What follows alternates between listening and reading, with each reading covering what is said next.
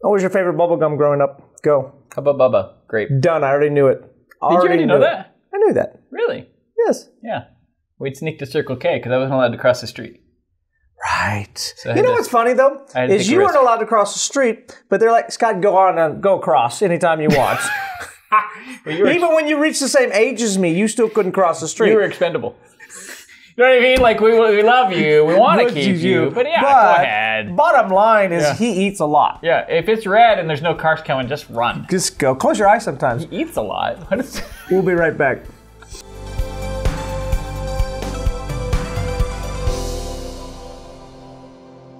Good morning. Welcome to Wake, wake up. We wake up. I'm Pastor Jason. I'm expendable. I'm Pastor Scot. We love you. We, We, do love you. we love you. It's Yeah. just you're replaceable, and that's good. My whole life has been that. It's so good to have you with us. We're gonna read a scripture. We're gonna pray every day. It's what we do. And what is our scripture today? Today we're just gonna we're gonna hit uh, some Habakkuk. And we're talking about what your message. I got a little.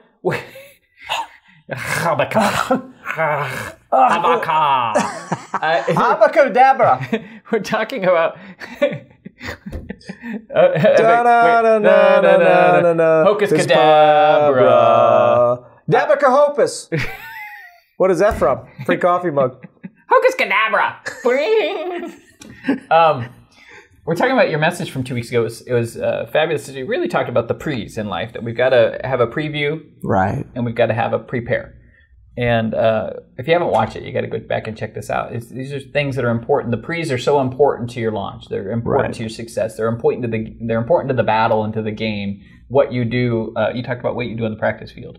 Yeah. Uh, but today we're going to talk about uh, vision. vision, which is to me, in a, in a sense, is a preview. Write the vision and make it plain on tablets. And I think that everyone, for the most part, they go, "Well, I know that," but you don't do it. Yeah. Does that make sense? Most people don't have a vision for I don't have 2018. time for that. You don't have a vision for 2019. You don't have a five year, a 10 year, a 20 year. Like in my mind, me and Holly talk, I'm already knowing what I'm doing in 20 years. Yeah. Already, right? You do. Well, I do. I have a basic concept of what, yeah, the yeah. next 20 years. No, it doesn't like, mean for that God doesn't change and stuff. Yeah. But I, but I, I have. So when I go to, I say, honey, we're, we're going on vacation, and here's where we're going. Right? I don't, we don't wake up on the day of vacation and go, all right, we're going. And she's Yeah. like, where are we going? I'm like, I don't know. Yeah. Well, you can't even prepare then. Yeah. Like we don't know what to bring. We don't know what. Come on, kids, get in the car. We're going on vacation. Where are we going?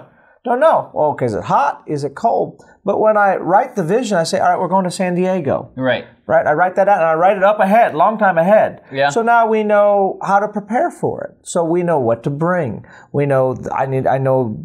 You know, I have to get a house out there. I got to make sure we have a car. I got to make sure I have enough luggage. Got to make sure. So your preparation first starts with the vision. Yeah, I remember my me and Kelly's first Christmas together, being married, and uh, you know we're buying gifts for people, and at the end of the month, I realized we'd racked up all this credit card debt uh, that we were having difficulty making our own bills, um, and and uh, Thank you, by the way. that you're welcome. And after that first Christmas together, I went, okay, uh, this is about how much money we spent on Christmas. If we put this much money aside every month, Right. right? And so we began to prepare for Christmas. That's a really simple explanation, but we began to prepare ahead of time. It's called a Christmas, budget. so that you weren't, you know, when things come upon you, you're not like, oh my gosh, now we're in debt. Now we're having all these problems. And I think that's what people do in their lives is, is they're they're running into hardship and, and conflict, and they're running into hard times. Uh, a lot of times because we didn't take the time to prepare Right. ahead of time. So if we look at like, a, okay, you create a vision. You're like, okay, well, like you said, we're going to go on vacation. Well, we got to put money aside. Right. Well, the summer came and we didn't have enough money for vacation, but we didn't prepare. you didn't write a vision for 2018. Yeah.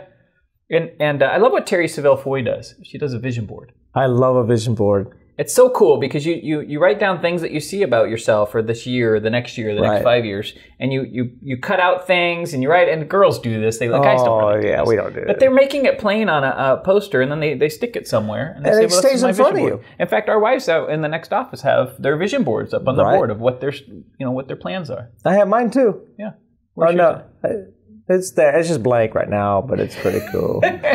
but but it's true. Like I have, but I have my goals written out. I have what I'm going to be doing. I have um, and the same thing even for our sermons. Like I pretty much know the next four weeks of what I'm teaching. Yeah. Um, uh, but many people go from day to day and they don't have a vision for their family. They don't have a vision for their marriage. They don't have, and where there is no vision, There's perishing. there's perishing, which just Right. means that you you don't hit God's best in that area of your life. Yeah. Um, if you don't have a budget, which you had a very good, we both had a very good budget, but Mm-hmm. very similar. I put away money every month for car uh, registration. Yeah. Mm-hmm. Put away for birthday gifts, for Christmas, for vacation. The vision then brings parameters into my life. I know what I can do, what I can spend, because many people are spending money and then they get to Christmas, like you said, and they go, "Hey, we have no Christmas money," Yeah. Because Christmas was a surprise. Yeah. Guess what? Christmas comes every year. Wait, when? I don't, I don't know February. I don't know. so- Sometime I just got it on my calendar. I don't. I don't have my vision board in front of me right now, so I don't know everything. So, but You know, how about how about when when you set up a maybe you look at you, you, where you're at and you feel like oh I'm in a dead end spot right now maybe you know go back to school like night classes and go hey I'm gonna you know I'm gonna try and get this I'm gonna try and finish up my masters and maybe it's gonna take me four years because I'm working or whatever and I have kids and I have a lot going on but I'm gonna start uh, you know chipping away know what that vision does? It the vision also is, is to keep the fire stoked. Yeah. Like Paul said, he says you got to stir it up, get them coals hot. So I was I went to college for three and a half years, and I had about 18 credits, and they were all PE. Okay They were great, and I was great. you were very athletic volleyball, Okay, yeah, weights. yeah. It was all great. I had it. Most of my stuff wouldn't transfer over, and all of a sudden, I got fired up in life. Like I want to get through college, so I made myself. They're not vision boards, but I made myself cool quotes, and I Yeah. Uh-huh. put them everywhere. They were in my bathroom. They were all over my bedroom. Uh, how fast? Well, I'm going to finish college in. Uh, really, in two years, I was able to get there. And so I put all everywhere that I that I went. I put it all over the place, and in my car, and I'd see it and inspire me. Yeah. You get a little tired. You're like, oh, that's some inspiration. Okay, yeah, I can do this. I can put this through. And that's what vision does. Vision, God designed you to need something to stir up your fire, to stir it up. For your marriage, marriage gets slow and it's like, ugh, and it seems like work, but then you begin to put a vision. You know, we're going to be. yeah Like we're going to be a happy, we're going to be a happy, crazy, passionate couple. yeah Uh, how are we gonna get there but that's what happens. As soon as you know you're going to San Diego, you go, wait, if I want to go to San Diego, I got to get sunscreen, I got to get towels, I got to prepare. As soon as you go, wait, I want to have a great marriage, you go, okay, well, to have that, I'm going to have to read some books. Uh-oh. I'm going to have to treat my wife different. I'm going to have to get some maps. I'm going turn to have off to, the Netflix I'm going to have to turn off the Netflix. get some information Right? yeah So the So in our waiting phase is a pre- pre- preparation phase, and our Preparation. preparation phase is empowered by the vision. We look at the vision, and suddenly the passion is stirred to prepare for the vision. And in other words, uh, you, you set yourself a health goal. I mean, that's a great one. Oh, I love that one. you say, okay, I'm, you know, at the end of this year, I'm going to be 30 pounds lighter than I was when I Right. started. So, oh, so then once you say, okay, 30 pounds lighter by September, you go, all right. So how do I get from here to there? Nachos. Right. So you got okay. Wait, like It's always nachos. you get like I got five months. Okay, Right. well that's six pounds a month. Right. Oh, I Okay, love so that's what you're saying. Yeah. Right. So then I break that down. I go, okay, well, so if I'm gonna hit six pounds a month, I gotta I gotta lose about a pound and a half a week. Right. Right. So then you have a goal, and you're like, I think I could do a pound and a half a week. Okay, but now So what do I have to do to do that? Well, then you gotta like go, okay, well, you know, maybe you're like keto diet, maybe like a carbs thing, but most important thing is it's not about dieting; it's about health. Yeah. Like just putting the right stuff in your body, mm-hmm. maybe cutting your portion sizes down a little bit, whatever you decide, whatever the spirit leads. But you set this goal, and suddenly after week one, you're you're down a pound. Suddenly after week two, you're down, you know, two and a half pounds. Suddenly after week three, you're down, you know, four pounds. After week four, you're back up two pounds, and you're like, oh, I got to get a little more aggressive. I fell backwards. Chalupa. That's what happened week four. All week four is always the week. Or I went to Disneyland. It's always the week of that Chalupa. cost me twelve. oh, that's churro. That's like twelve weeks right there in one week. Because you can't you can't say no to the churro. But you have see if you go to Disneyland, you have to eat the churro.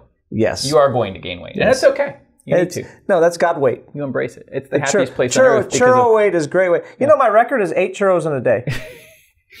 Does that seem too many?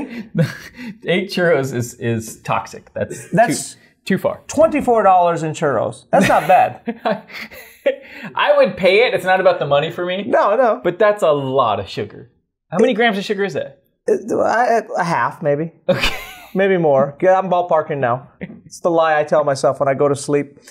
What if tonight, right? We we talk about this. What if tonight, when you got home, you started your vision board. You started going, I okay, where do I want to be by by December in these categories: financially, Oh, health, I my love it. education. Maybe we're going to try and have that business started. So, so, and we're going to start that business in That September. book you're gonna write, you're gonna do. Yeah, and, you- Love it. and then you that forces that stirs up the passion for the preparation. You put it up in front of you, right? Mm-hmm. And every day you're seeing it and it driving you, it's encouraging you.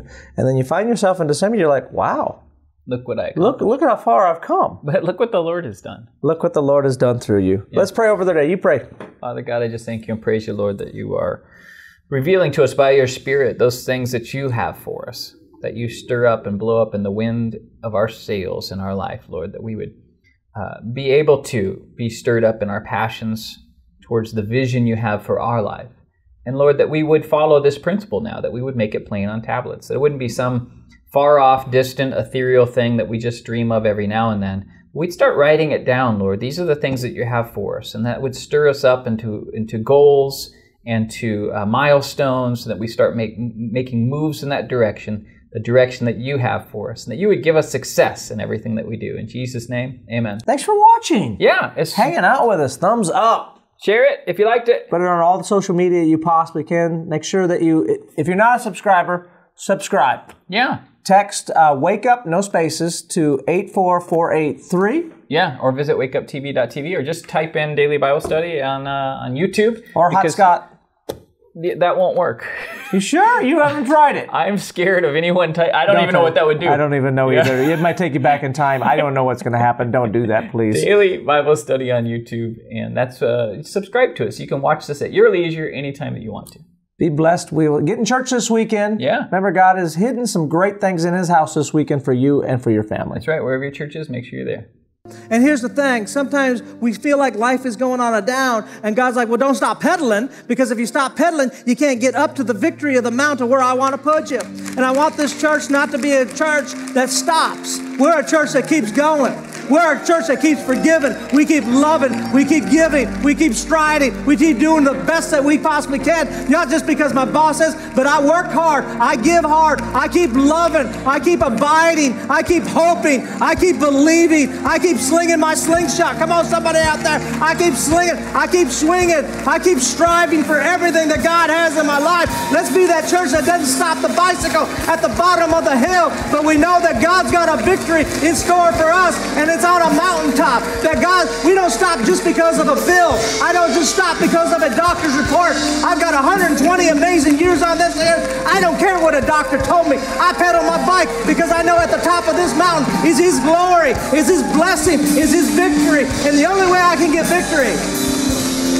come on, church, we ain't gonna stop.